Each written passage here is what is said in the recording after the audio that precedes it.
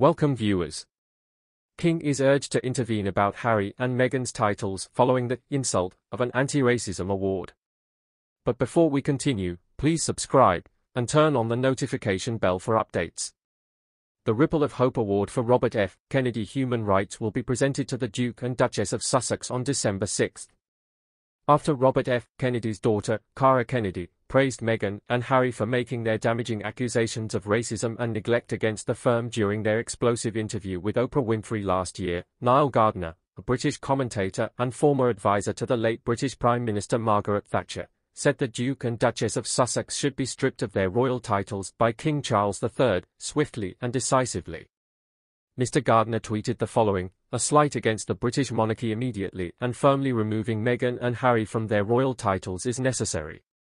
The late U.S. President John F. Kennedy's niece, Ms. Kennedy, asserted that the Sussexes' public criticism of the firm undermined the royal family's power structure in a recent interview. In a statement to the Telegraph about Meghan and Harry's accomplishments, Ms. Kennedy, whose organization the Robert F. Kennedy Human Rights will present the Sussexes with the Ripple of Hope Award on December 6, said, they went to the oldest institution in UK history and told them what they were doing wrong, that they couldn't have structural racism within the institution, that they could not maintain a misunderstanding about mental health. She continued, few would have the bravery to question their colleagues, family and community about the power structure they supported, and this is what Meghan Markle and Prince Harry have done, after stating that the Sussexes have the moral fortitude to talk about racial justice. The firm famously released a brief statement following the airing of Ms. Winfrey's interview with the Sussexes in which it described the issues raised by the Duke and Duchess as concerning, and stated that, despite the fact that some recollections may vary, they would be taken seriously and addressed in private by the family. Another news. King Charles rejected the invitation to join his brother Prince Andrew in a public shooting. The Duke's attendance at a photo shoot with Prince Edward and Princess Anne reportedly infuriated the King, who intends to ignore Andrew. Sources claim that King Charles disassociated himself from a shooting party that took place on the Windsor estate the previous weekend. Two days before His Majesty turned 74, the gathering featured Prince Andrew and his two other siblings, Princess Anne and Prince Edward. The king, it is said, disassociated himself from the gathering because of the apparent display of solidarity for the disgraced Duke of York. The breakdown in ties occurs when the king rushes through the House of Lords proposals to sideline Prince Andrew and Prince Harry as royals as part of broader plans to reduce his retinue.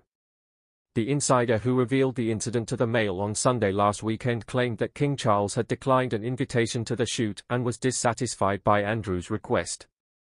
King Charles was reportedly upset that Edward and Anne had been publicly meeting up with Andrew and wanted it made plain that he had not participated in the shoot, according to the source. Privately, Anne and Edward had been worried about Andrew and wanted to see how he was doing. Charles, though, feels that he shouldn't be a public figure. His Majesty was not at all pleased. Despite not taking part in the royal family's customary Christmas Day walk to St. Mary Magdalene Church, Andrew is anticipated to be welcomed by the King at Sandringham.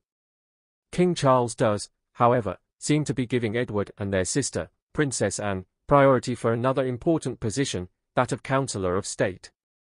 In the House of Lords last week, the government tabled laws allowing the monarch's sister and youngest brother to fill in for him when he is absent or ill. This includes giving them the ability to assume the king's constitutional and legal responsibilities in such a situation. They might be requested to convene or adjourn parliament, consent to the selection of government officials as judges or ministers, preside over the Privy Council, hold meetings with diplomats, or sign legislation into law. It will be fully debated by the Lords on Monday, and all other stages will be finished by Wednesday of the following week before it moves to the Commons, then returns to the Lords, where it will be given royal assent to become law.